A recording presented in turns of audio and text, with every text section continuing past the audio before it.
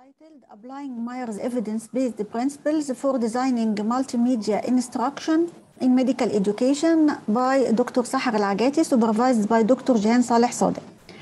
Most of the faculty staff members implicated in medical education lack the formal or structured practice in the science of teaching before starting their jobs as educators. Although PowerPoint presentations may be constructed in many ways, most of the faculty staff usually depend on the bullet point format, initiating a condition of fatigue, confusion, and information overwhelming among learners. Applying the multimedia learning principles when designing the instructional presentations for medical students has been emphasized as a principal key in the promoting uh, effective learning. The aim of this work is to implement and assess the applicability of utilizing the multimedia learning principles to presentations given to medical students in Faculty of Medicine Ain Shams University, aiming to improve students' learning and to develop the staff member expertise in multimedia learning principles when designing the PowerPoint presentation for medical students. The aim of this work was um,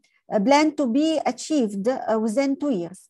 Uh, in the first year, uh, the applicability of utilizing these new methods in physiology lectures as well as its impact on students' learning were uh, assessed. In the second year, workshops will be prepared and administered to uh, inform and train the staff members in our faculty about these uh, new methods of PowerPoint presentation. In the previous year, two lectures of physiology curriculum containing identical information were prepared in two versions, the traditional design, which used the PowerPoint slides that had been developed and used in the previous academic year, and the new design, which was prepared from the traditional one using the principle uh, of multimedia learning.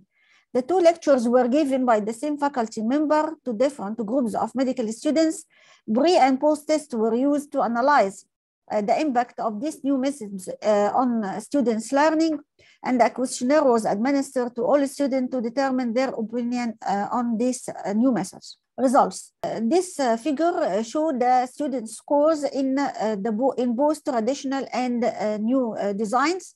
A represents the significance of difference within groups by paired t-test, and the um, B represents the significance of difference between groups by unpaired t-test. as shown here, the scores of the post tests uh, were significantly higher than the scores um, uh, of pre-test in both traditional and new, uh, and new design. however, the scores of the post tests as well as the difference between post and pre-test were significantly higher in the new design than in the traditional design. this stacked bar chart uh, show the response of uh, student satisfaction questionnaire. As we see here, more than 50% of students were satisfied in the new design uh, and this percentage was greater than that in the traditional design. Also, the, this table shows the percentage of um, uh, student satisfaction in uh, both new and traditional uh, designs. and um, it demonstrates that the contentments of students in the new design was greatly higher than that in the traditional design. In conclusion, applying Mayer's evidence-based principles for designing multimedia instruction in physiology improves the students' understanding and learning and promotes student satisfaction uh, Uh, with the lectures.